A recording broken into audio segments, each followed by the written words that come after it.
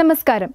Media മംഗളം ടിവിയിലേക്ക് സ്വാഗതം. Covid വിലക്കുകൾ കുറഞ്ഞു വരുന്ന സാഹചര്യത്തിൽ മൃഗശാലകളും മ്യൂസിയങ്ങളും പാർക്കുകളും വരെ തുറക്കാൻ സർക്കാർ തീരുമാനിച്ചിരിക്കുകയാണ്. എന്നിട്ടും അസംഘടിത മേഖലയിലെ കലാ അധ്യാപകരുടെ സങ്കടം ജനകീയ സർക്കാർ ഇതുവരെ അത്ര ശ്രദ്ധിച്ചിട്ടില്ലെന്ന് തോന്നുന്നു. നൃത്ത അധ്യാപകരുടെ പട്ടിണി വ്യക്തമാക്കിക്കൊണ്ട് തിരുവനന്തപുരത്തെ പ്രമുഖ ഡാൻസ് സ്കൂളായ റിഗാറ്റയുടെ ഉടമയും പ്രമുഖ നൃത്ത പരിശീലകയുമായ ഗിരിജാചന്ദ്രൻ മുന്നോട്ട് വരികയും മീഡിയ മംഗളം വാർത്തയോട് പ്രതികരിക്കുകയും ചെയ്തിരുന്നു. ഇതിനെ തുടർന്ന് ഈ ക്യാമ്പയിനിൽ പങ്കെടുത്തുകൊണ്ട് പ്രതികരിക്കുകയാണ് പ്രശസ്ത ഗായകൻ ജി വേണുഗോപാൽ. നമസ്തേ ഞാൻ ജി വേണുഗോപാൽ.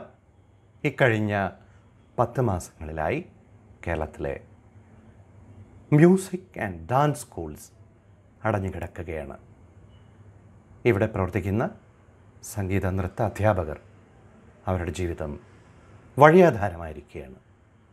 അതേസമയം കോവിഡ് അൺലോക്ക് അഞ്ച് അതിന്റെ ഭാഗമായി കേന്ദ്ര സർക്കാർ പാർക്കുകൾ പൊതുവിടങ്ങൾ മാളുകൾ വിദ്യാലയങ്ങൾ ഇവ തുറക്കുവാൻ ഓർഡർ പുറപ്പെടുവിച്ചു. പക്ഷേ ഇന്നും കേരളത്തിലെ ഡാൻസ് ആൻഡ് മ്യൂസിക് സ്കൂൾസ് അടഞ്ഞു തന്നെ കിടക്കുകയാണ്. ഇവിടെ പ്രവർത്തിക്കുന്ന അധ്യാപകരെല്ലാം അസംഘടിത മേഖലയിലാണ് അവർ ജോലി നോക്കുന്നത്. നമ്മുടെ സംസ്ഥാന ഗവൺമെന്റ് ഇവരുടെ ദുരിതം കണ്ട് കണ്ണു തുറക്കുമെന്നും കോവിഡ് മാനദണ്ഡങ്ങൾ പാലിച്ചുകൊണ്ട് ഈ സ്കൂളുകൾ എത്രയും വേഗം തുറക്കുവാൻ അനുമതി നൽകുമെന്നും ഞാൻ പ്രതീക്ഷിക്കുന്നു. നന്ദി.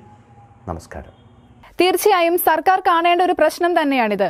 ഈ വിഷയത്തിൽ ഉടനടി ഒരു പരിഹാരം ഉണ്ടാകുമെന്ന് തന്നെയാണ് ഞങ്ങളുടെയും പ്രതീക്ഷ.